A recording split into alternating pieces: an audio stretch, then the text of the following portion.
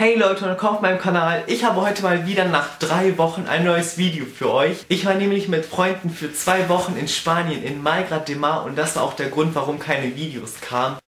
In diesem Video werde ich euch erzählen, wie es so ist, mit Go Jugendreisen zu reisen. Ich habe nämlich, bevor wir abgefahren sind, nach YouTube-Videos gesucht, wo einfach verschiedene YouTuber erzählen, wie sie es so fanden. Aber ich habe kein einziges gefunden, was ich etwas schade fand, denn ich wollte gern halt so vorher wissen, wie es so ist und wie es abläuft und so weiter. Und da habe ich mir gedacht, dann mache ich es einfach und erzähle meine Erfahrungen mit dieser Organisation für Leute, die vielleicht nächstes Jahr oder so auch damit reisen möchten.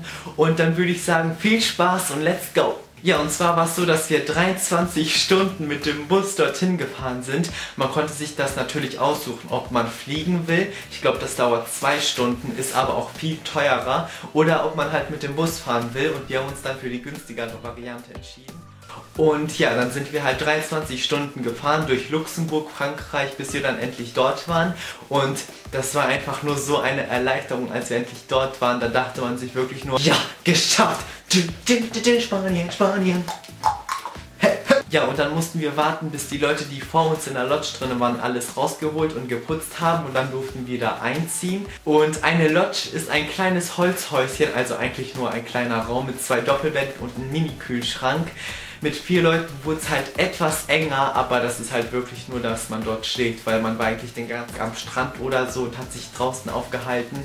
Denn bei 35 Grad in diesem kleinen Holzhäuschen wird es irgendwann wirklich sehr stickig. Aber zum Schlafen war es dann eigentlich ganz gut, auch wenn man es morgen davon aufgewacht ist, dass dort einfach viel zu wenig Luft drin war und es sehr stickig und warm war. Aber sobald man dann die Tür aufgemacht hat, ging es dann eigentlich. Ja, wir waren in einem riesengroßen Camp. Ich glaube, wir waren zusammen 2 bis 250 Jugendliche. Und das bedeutet natürlich auch, dass dort viele Teamer, also Leute, die auf uns aufpassen, ähm, dort sein müssen. Wir wurden in Gruppen unterteilt. Und zwar waren immer 20 bis 25 Leute in eine Gruppe. Und wir waren Team Ultra. Yeah, Team Ultra. Team Ultra. Ja, dann wird jeder Gruppe immer ein Teamer zugeteilt. Wir hatten jetzt zwei Stück. Eine in der ersten Woche und eine in der zweiten, weil die von der ersten Woche leider abreisen musste. Aber es waren beide richtig nett, cool und man hat sich einfach richtig gut verstanden. Und ja, ansonsten gab es jeden Tag ein Meeting, das heißt, da hat sich die ganze Gruppe immer zu einer bestimmten Uhrzeit getroffen und hat einfach über die verschiedensten Dinge geredet, was so ansteht, wer zum Beispiel nach Barcelona fahren will oder wer nach Lorette de Mar fahren will und wer zu der Disco will oder wenn jemand noch ein paar Wünsche hat und so weiter. Das wurde dann alles so 10 bis 15 Minuten dort halt so besprochen und dann konnte man essen gehen und oh, das Essen war wirklich so lecker, das hat mich richtig gefreut. Es gab immer jeden Tag frisches Obst, frischen Salat, leckeren Saft. Es gab äh, richtig viel. Also es war so, dass es Frühstück gab. Da gab es immer so Baguettes, Cornflakes, frische Früchte und so weiter. Dann gab es immer einen Mittagssnack. Einmal gab es dort Nuggets. Oh mein Gott, die Nuggets waren so lecker und wir haben alle gehofft, dass es die nochmal geben würde. Und dann gab es auch sehr oft Fruchtsa Früchtesalat. Früchtesalat.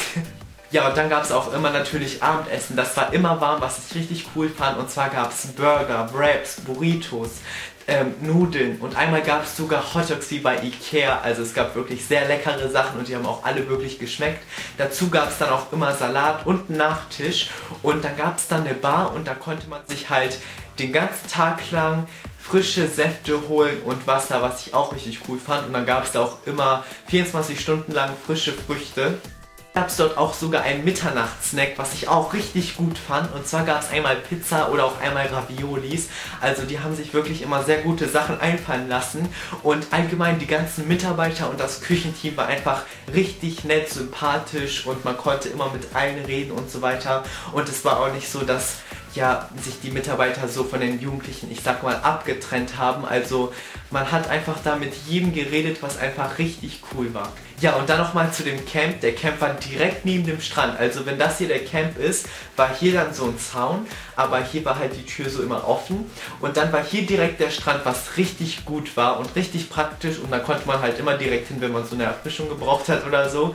Vor allem bei dieser Hitze, die dort war. Es war immer heiß, außer an einem Tag, da hat richtig stark geregnet aber dafür war es an den anderen Tagen wieder sehr warm. Und ja, die Stadt ist eigentlich auch ziemlich in der Nähe, da muss man so zwei, drei Minuten gehen. Klar, es ist jetzt nicht so eine mega Metropole oder so, da gab es aber viele Souvenirshops, es gab leckere Restaurants und oh mein Gott Leute, wenn ihr dort seid, geht zu der Eisdiele Stella Maris hieß sie eigentlich. Ich blende sie euch jetzt mal ein. Dort gibt es das beste Eis, was ich je gegessen habe. Und das Eis wurde sogar ausgezeichnet als bestes Eis in Spanien 2012. Es gab so viele Sorten. Es gab Tiramisu-Eis, Mango-Eis, es gab Bounty-Eis, es gab Kinderüberraschungseis, Nutella-Eis. Ähm, es gab einfach alle Sorten, die man sich so vorstellen kann. Es gab Kokosnusseis. Äh, ach, keine Ahnung, es gab wirklich mega viele Sorten und ich blende euch das jetzt auch nochmal ein. Das Eis schmeckte wirklich sehr gut, obwohl ich muss sagen, das Eis in Spanien ist schon teurer. Da hat eine Kugel 1,70 Euro gekostet, aber dafür ist sie auch wirklich mega groß. Und in Barcelona waren die Eiskugeln sowieso noch teurer. Da hat eine Kugel 3 oder 3,20 Euro gekostet, was sehr teuer ist, wie ich finde, aber so ist das halt, wenn man so in Barcelona ist und direkt an der Touristenstraße dort, wo halt alle Touristen sind. Ja, und in der Stadt gab es natürlich noch viele andere Läden, zum Beispiel Ale Hop. Das ist so ein Laden wie auch Nanunana, da gibt es verschiedene Gadgets oder so, fand ich auch richtig cool, der Laden. Es lohnt sich auf jeden Fall mal dort reinzugehen und ansonsten gibt es natürlich richtig viele Bars und Diskotheken oder so. Also ich fand die Stadt und auf jeden Fall es gab einfach cool. alles. Es gab auch viele Aktivitäten, die man dort machen konnte. Wir sind zum Beispiel einmal Fahrrad gefahren, was richtig cool war. Einmal haben wir am Strand Wassermelone gegessen, was mega erfrischend war. Und ja, es gibt einfach richtig viele Dinge, die man dort machen kann. Und ja, und ansonsten hat uns unsere Teamerin jeden Tag immer so verschiedene Angebote vorgestellt, die wir machen können. Zum Beispiel die Barcelona Tagesreise, die wir hier gemacht haben, Bananaboot fahren oder Lorette at Night und so weiter. Was ich auch richtig gut fand, ich meine, das war ja auch alles freiwillig. Oder man konnte auch einfach selbstständig mit Freunden einfach rumgehen und so weiter. Man konnte mit dem Zug eine Station weiterfahren zu der Stadt nebenan nach Kalela, Kalela oder so war das, glaube ich.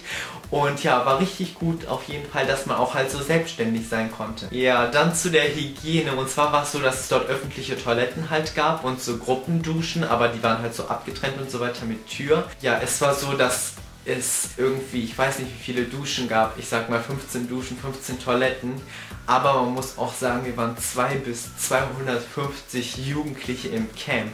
Und dann gab es auch noch andere Camper aus Holland, Spanien, Frankreich, die dort auch waren, das heißt wir haben uns das dann alles geteilt, aber man muss auch sagen, dass die Duschen und Toiletten immer so drei bis viermal am Tag, glaube ich, ähm, gereinigt wurden. Trotzdem gab es manche Fälle, wo zum Beispiel einfach in einer Dusche jemand drinne gemacht hat. Also, was ich nicht verstehe, denn gleich nebenan gab es Toiletten und er geht dann zur Dusche, was richtig eklig war. Ich habe es zwar nicht gesehen, aber viele haben darüber geredet. Und am nächsten Tag hing dann da so ein Blatt, dass es Toiletten gibt und dass man nicht in den Duschen scheißen soll. Trotz dieser Sache muss man sagen, dass für 2 bis 250 Jugendlichen, Mitarbeiter und Camper aus aller Welt es eigentlich schon sehr sauber war. Also man kann sich natürlich in einem Campingplatz jetzt nicht so die höchste Hygienestufe oder so ähm, erhoffen. War auf jeden Fall sehr sauber für diese Verhältnisse. Ja und ansonsten gab es dort Internet, was man sich dann halt jeden Tag oder für eine Woche kaufen konnte. Dann gab es dort einen Bootsverleih, da konnte man mit Freunden einfach so frei im Meer so Boot fahren.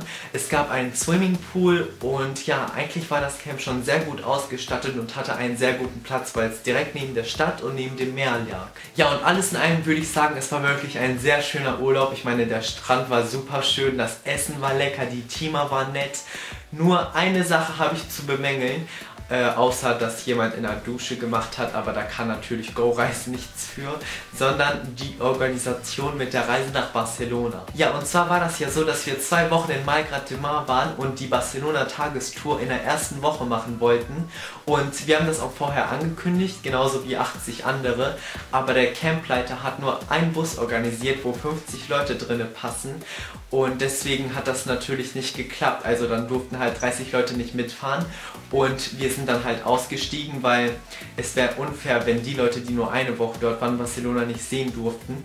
Und die sind dort halt hingefahren und uns wurde dann eine Wiedergutmachung versprochen. Die haben wir bekommen, das war ein Eis. Ja, dann wollten wir also in der zweiten Woche fahren, was auch geklappt hat. Es haben sich aber 60 oder 70 Leute auch mal wieder vorher angemeldet und der Campleiter hat wieder nur einen Bus organisiert, was wir nicht verstanden haben, weil es war ja eigentlich genau dann derselbe Fehler wie die Woche davor.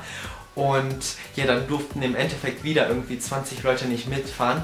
Wir durften schon mitfahren, weil wir die Woche davor schon nicht mitgefahren sind und das unser vorletzter Tag in Spanien war. Aber es war natürlich trotzdem blöd, dass das dann organisatorisch nicht geklappt hat und so weiter. Also das konnte man dann schon noch verbessern, aber ansonsten fand ich wirklich, dass der Urlaub richtig cool war. Es war eine unvergessliche Zeit und keine Ahnung, es hat sich auf jeden Fall gelohnt dass man da 23 Stunden hinfährt. Aber ich finde, es lohnt sich, wenn man dort zwei Wochen bleibt, denn eine Woche ist viel zu schnell um. Also dann, wenn schon, würde ich zumindest sagen zwei Wochen und dann kann man den Urlaub dort richtig schön genießen. Ja, das war es dann erstmal so zu Go Jugendkreisen und meine Meinung dazu. Jetzt habe ich noch ein Mini-Barcelona Follow Me Around für euch. Ich habe zwar nicht durchgängig so in der Stadt damit rumgefilmt, weil ich wie gesagt einfach so halt die Stadt genießen wollte und die Gassen und so weiter, aber ich habe trotzdem etwas aufgenommen und das werde ich euch jetzt so einblenden und euch ein paar Sachen dazu erzählen. Ja, und zwar sind wir erst eine Stunde lang nach Barcelona hingefahren, aber die Zeit ging wirklich sehr schnell um. Und dann waren wir erstmal bei diesem Park hier, der war wirklich sehr schön. Da sollten eigentlich Villen errichtet werden, aber irgendwie wollte sie dort keiner kaufen. Und dann wurde daraus halt eine Touristenattraktion gemacht, dass Touristen ein Panorama von Barcelona dort erleben können, was ich richtig schön fand und es war einfach eine super schöne Aussicht.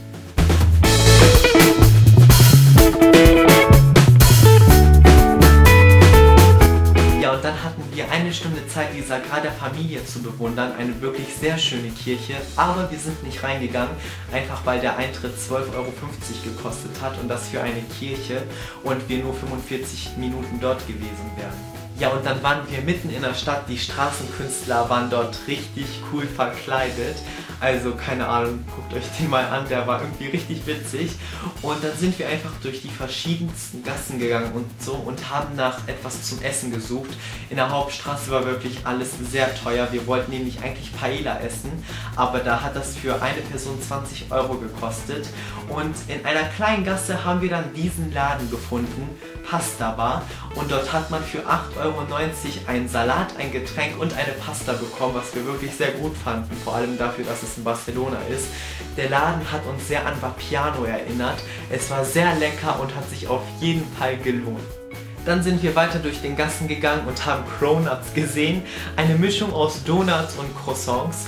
Und wir waren auch in diesem schönen Platz hier. Der hat uns wirklich irgendwie an Miami oder Los Angeles oder so erinnert. Einfach wegen diesem Gebäude und den Palmen und so. Das sah wirklich sehr schön aus. Und ja, dann sind wir weitergegangen, haben Frozen Joghurt gegessen. Es gab wirklich sehr leckeres Eis. Und irgendwann ging auch diese drei Stunden in der Stadt um. Und dann sind wir mit dem Bus weitergefahren zur nächsten Attraktion. Und zwar zur Font Magica. Das war eine richtig coole Wassershow. Und zwar liefen dort Hits von Jessie J und so weiter. Und das Wasser hat sich dann im Takt dazu halt immer verändert und bewegt. Später, als es dunkler wurde, kamen dann auch Farben dazu. Und dort waren tausende von Menschen. Und das war wirklich richtig schön und richtig cool. Und ja, da hat man einfach den Moment genossen. Und es war einfach unbeschreiblich schön.